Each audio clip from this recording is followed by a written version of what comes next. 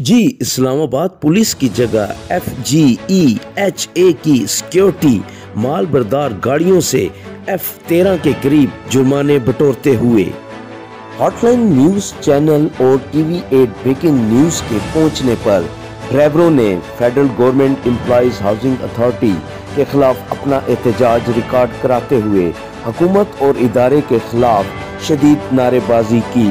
और federal government employees housing authority के इस अमल को गैर कानूनी और गुंडागर्दी करार देते हुए, भागते हुए सिक्योरिटी एहलकारों की गाड़ियों को रोकने की भी कोशिश की। मगर असले के ज़ोर पर गैर कानूनी जुर्माने से वसूल की हुई रकम लेकर फरार होने में सिक्योरिटी एहलकार कामयाब हो गए। Federal government employees housing authority के असिस्टेंट डायरेक्टर उमर फारूक ने हॉटलाइन न्यूज़ और टीवी एट ब्रेकिंग न्यूज़ के मौकफ लेने पर बताया कि सिक्योरिटी एहलकार फाइन कर सकते हैं ऐसा नहीं है। की गाड़ी क्यों रोकी? गाड़ी ये सोसाइटी वाले हैं फ़ैन कर रहे हैं और छोड़ रहे हैं गाड़ियों को। वजह कहते हैं रास्ता हमारा है सोसाइटी हमारी है ये। हम हज़ार हज़ार रुपया कर रहे हैं। आपको हज़ार हज़ार रुपये गाड़ियों पर कर रहे हैं सर। क्या वजह क्या बता रहे हैं ये कह रहे हैं सोसाइटी वाला रोड बंद है। ये कोडला स्टेशन की तरफ़ जाने नहीं दे रहे हैं सोसाइटी हमारी अपनी। आप भी ड्राइवर हो जी एक मैं जी जी क्लिंडर जी क्लिंडर है जी सर। जी पैसे मांग रहे हैं सबसे हज़ार रुपये मांग रहे हैं। सेट ही हैं। आप नहीं मैं गाड़ी वाला आप आज़ाद चलान कर रहा हुआ है ये सारा सेक्टर हमारा डेम्पर को वजह से बना हुआ है वो कुछ चोटता नहीं हमारा क्या कसूर है? हाँ? तो ये मसला है अभी देखो सेक्टर तैयार हो गया हम किसी रास्ते पे तो हम भी जाएँगे ना। ये क्या जायज़ है? ये गलत है ना भाई ये कह रहे हैं हज़ार हज़ार रुपए चालान करो हमारा रोड खराब होता है अभी नया रोड तो इधर से नहीं बना सकते है ना। यही रोड गुजरता है आगे और सेक्टरों को भी लगता है ना। कब से ये ले रहे हैं ये भी दो तीन दिन हफ़्ते से इन्होंने ये सिस्टम बनाया हुआ है भाई रोड हमारा खराब हो रहा है। रोड तो खराब होगा रोड खराब हो रहा है? ये जो इनके सोसाइटी वाले रोड है सर ये सरकारी रोड है ना ये तो नहीं है इन्होंने खरीद लिए पूरा रोड भी खरीद लिए। जी ये जायद नामी ऑफिसर हैं जो चालान काट रहे हैं मगर हमारे किसी भी सवाल का तसली जो आप ना दे सके। कि आखिर वो ये सब क्यों कर रहे हैं? जी। आपका नाम? ज़ाहिर ज़ाहिर साहब आप इन लोगों से पैसे ले रहे हैं फाइन कर रहे हैं। ये सीडीए की परमिसेज आप कौन सी सोसाइटी? सर ये हाउसिंग अथॉरिटी है और हाउसिंग अथॉरिटी है सर। आप हमारे जो भी है बात कर लें अपनी डायरेक्टर सिक्योरिटी साहब बैठे हैं हमारा दफ्तर है जीती रटू मुझे ये बताएँ कि ये सीडीए की परमिसेज है। सीडीए ने रोड पर ये सेक्टर ये जो सेक्टर है ये सीडीए ने डेवलप किया है। आपकी परमिशन बाउंड्री वॉल में है। आप यहाँ पे खड़े हुए हैं गोल्डा में। साढ़े तीन सौ फीट हमारा ग्रीन बेल्ट है आगे तक है हमारा। किस जगह? आपकी सोसाइटी का नाम क्या है? हाउसिंग फाउंडेशन अथॉरिटी है। कहाँ पे है? जी टेन में। जी टेन में जी टेन में। जी टेन में है। यहाँ पे आपकी कौन सी सोसाइटी है जो खराब हो रही है? सर ये इधर से इन हो रहे हैं। ये ट्रक उधर से इन हो रहे हैं। हम कह रहे हैं सर्विस आप जाए। उधर से जो आपका रोड है ना जो मेन रोड है जो मेन रोड है आपका उधर से आप जाए। हमें इनसे कोई मसला नहीं है। ट्रक है उधर आप जाए। ग्यारह बजे के बाद ट्रक एंट्री है इस्लामाबाद में।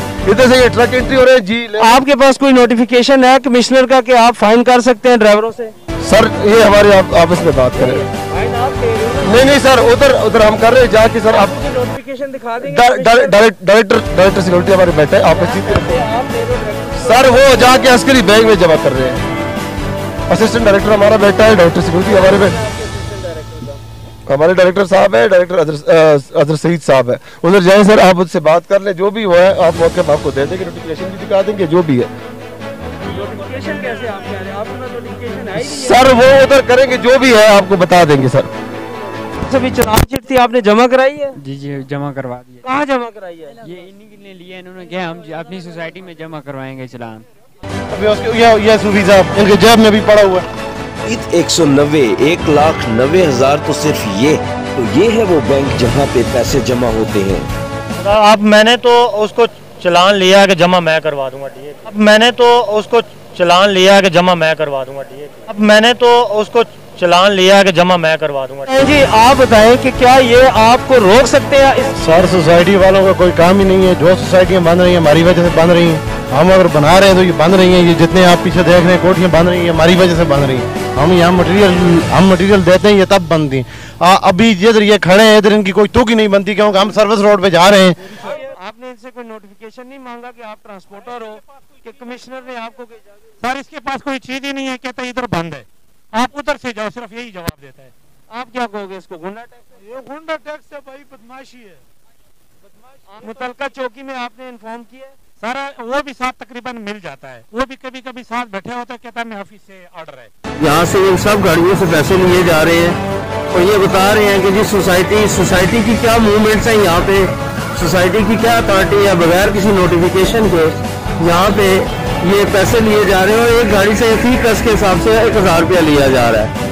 अब जो मुतलका लोग हैं, इनका ये कहना है कि जी ये गुंडागर्दी है, यहाँ पे बदमाशी है। अभी इन्होंने मुतालबा किया कि असिस्टेंट डायरेक्टर को बुलाएँ और ये अब गाड़ी लेके यहाँ से गुम होने की कोशिश कर रहे हैं। ये अब इनको यहाँ पे छोड़ के इनको जा रहे हैं। अब अपने असिस्टेंट डायरेक्टर को इन्होंने नहीं बुलवाया। और ये गाड़ी लेके अब यहाँ से वापस जा रहे हैं इसको।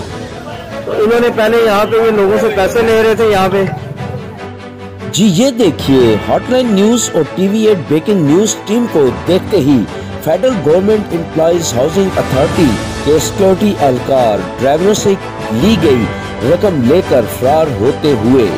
देखो वो देखो वो जा रहे हैं वो जा रहे हैं। अब तो क्या ये है नया पाकिस्तान जो जब जी चाहे जो मर्ज़ी करे कोई पूछने वाला नहीं? ये आपको गाड़ी यहाँ से मूव करवा रहे थे।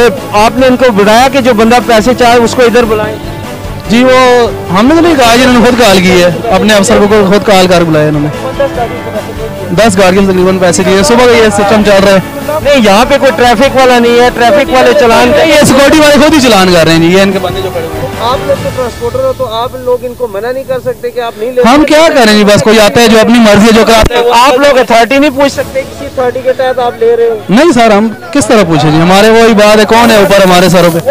एक एक गाड़ी एक एक मालिक की है हम लोग कुछ नहीं कर सकते। नहीं मैं अगर रोक लेता हूँ मैं कहता हूँ हज़ार रुपया मुझे तो दे दोगे? सर इतनी जल्दी में इसलिए हम लोग खड़े हैं। बीच में जो आ रहे हैं सुबह से खड़े हम। देखते रहिए टीवी एट।